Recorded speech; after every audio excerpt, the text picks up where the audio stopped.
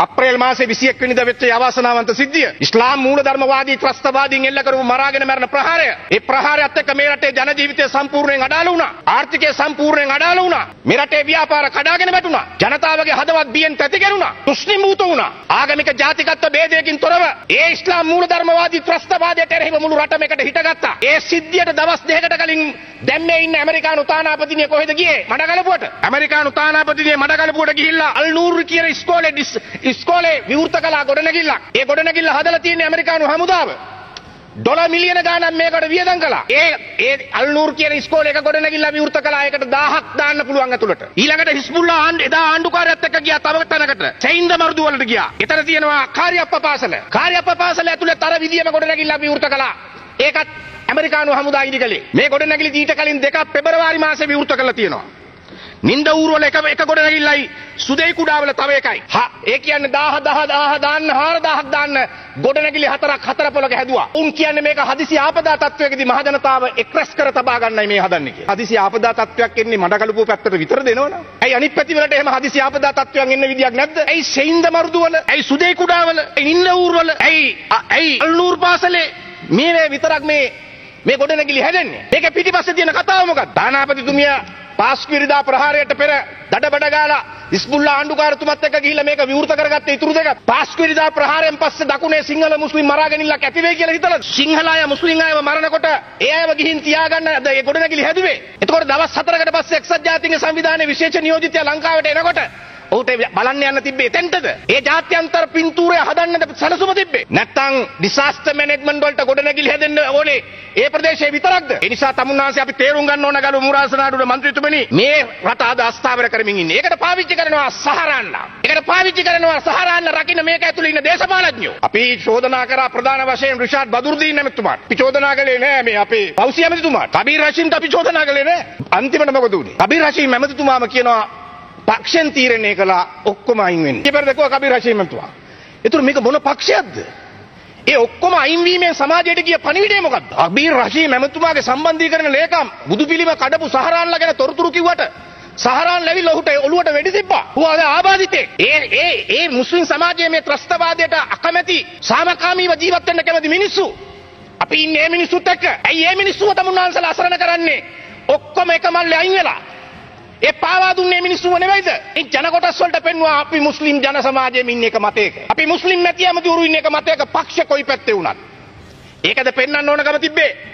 තමුන්නාන්සලා ප්‍රබුද්ධ මනසකින් මේ ප්‍රශ්නය දිහා බලන අය නම් රිෂාඩ් බදුර්දීන්ටයි අයින් වෙන්න කියන්න තිබ්බේ. රිෂාඩ් බදුර්දීන්ගේ අම්මගේ සහෝදරයා තමයි සහෝදරයාගේ දුව තමයි දෙමටකොට නිවසේදී මරාගෙන මැරෙන්නේ. තමුන්නාන්සලගේ කාගේවත් අම්මා සහෝදරය සහෝදරයෙක් එහෙමුණයි කියලා අපි කියන්නේ. අසාත් සාලි කියනවා දැන් මේ පාර්ලිමේන්තුවේ ඉන්න මුස්ලිම් කටයුතු ඇමතුමාගේ සහෝදරයා ඒ සහරානත් එක්ක වැඩ කරන්නේ කියලා. අන්තවාදියෙක් කියලා. වහබ්බාදියෙක් කියලා. අපි නෙවෙයි කියන්නේ. ඉතින් දේශපාලන තන්ත්‍රයේ බලපෑම නොතිබුණා නම් දෙද අර ආයුධ හදන බෝම්බ හදන ඒවා ගොඩ ගෙනල්ලා ගොඩ බානකොට කාන්තන්කුඩි මිනිස්සු සයින්ද මර්දු වල මිනිස්සු පොලිසියට පැමිණිලි කරනකොට සහරාන්ව අත්අඩංගුවට ගන්න පුළුවන් උනේ නැහැ. සහරාන්ව අත්අඩංගුවට ගන්න ලෑස්ති වෙච්ච OIC මාරු කළා. ඒක කරන්න නම් ආණ්ඩුව ඇතුලේ ඉන්න දේශපාලඥයෝ සහරාන්ව රකින්න ඕන. අපි කිව්වේ අන්නේ දේශපාලඥයට ඉල්ලාස් වෙන්න පරීක්ෂණ වලට ඉඩ දෙන්න. එහෙම නැතුව අපි කිව්වේ නෑ කවුරුත් කිව්වේ නෑ ඔක්කොටම කරුණාකරලා මට මට බාධා කරන්න එපා. කරුණාකරලා මුලසන මන්ත්‍රීතුමා මට බාධා කරන්න එපා. සහරාන්ව රකින්න එන්න එපා. කරුණාකරලා මන්ත්‍රීතුමා වාඩි වෙලා ඉන්න පස්සේ කතා කරනකොට මොන හරි දෙයක් කියන්න.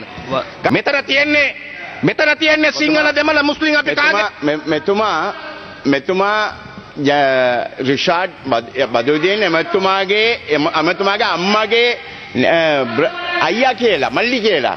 එයා සාරන් සාරාන් සම්බන්ධව එය කතා කරන්න අවශ්‍ය නැහැ. කරුණාකරලා මට දෙන්න අවස්ථාව.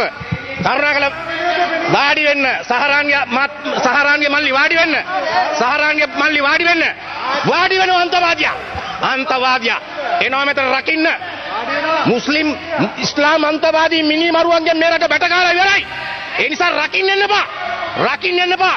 මේ රටේ මිනිස්සු 4500 මරා දාලා පල්ලි කුඩු කරලා කතෝලික දේවස්ථාන වනසලා තව එනවා මෙතන කටමැද දොඩවන්නත්. කටමැද දොඩවන්න එනවා. අර මන්තුමා දෙමළ ජාතික සම්දානයේ මන්ත්‍රීතුමා කතාව කළා.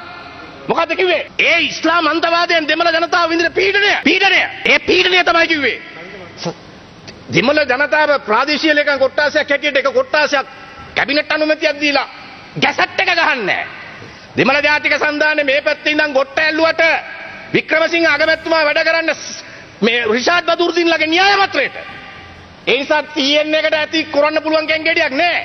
ඒ වුණත් ඉතින් TN එක අර ගම්පෙරළියෙන් අර එම්මෙන් හම්බෙන කීයක් හරි හින්දා කඩේ යනවා. ඒක කරනවා. කට මැත දොඩවන්න එපා. කට මැත දොඩවන්න එපා. ඔයාට මොකද්ද තියෙන රුදා? ඔයා සහරාන්ගේ බාප්පද? සහරාන්ගේ බාප්පද? සහරාන්ගේ බාප්පද? අපි කියන්නේ මේ රටේ මුස්ලිම් ජනතාව සිංහල ජනතාව දෙමළ ජනතාව. කාගේවත් ආධිපත්‍යයකට නතු විය යුතු නෑ. කාගේවත් ආධිපත්‍යයකට නතු විය යුතු නෑ. කට වහගෙන අහගෙන ඉන්නවා. ගරු ගරු මුලසනඩුඩ මන්ත්‍රීතුමනි. කාග කාගේවත් අනතකට යටත් විය යුතු නෑ. අද නැගෙනහිර පළාතේ දෙමළ ජනයා දෙමළ කෝවිල් 11කට වඩා කඩලා තියෙන අන්තවාදය. දෙමළ හින්දු කෝවිල් 11කට වඩා කඩලා තියෙන අන්තවාදය ඔබතුමාට ඒ නිසා දෙමළ ජනතාව පීඩාවට විනාඩි දෙක කරලා. විනාඩි දෙකක් ඉතුරු අන්‍ය වෙලා තියෙනවා. ජාතිකයන්ට කිසිම කෙනෙකුට නැගිටින්න දෙන්නේ නැහැ. අන්‍ය ආගමිකයන් කිසිම කෙනෙකුට නැගිටින්න දෙන්නේ නැහැ. ඒ ආධිපත්‍ය පතුරවන අරාබිකරණයක් කරලා මේ රට ගෙන යන්න හදනවා වෙනම අන්තයකට. තමුන්නාන්සලා තේරුම් ගන්න ගර්භාෂ යුද්ධ කරාට අන්තවාදයේ වහකවන්න හැදුවට මේ රට ගිනි තියන්න හැදුවට ඔය ඉස්ලාම් අන්තවාදී කල්ලි මේ පොළොව ඒ ඒ අරමුණ මුදුන්පත් කරන්න ඉඩ දෙන්නේ නැහැ.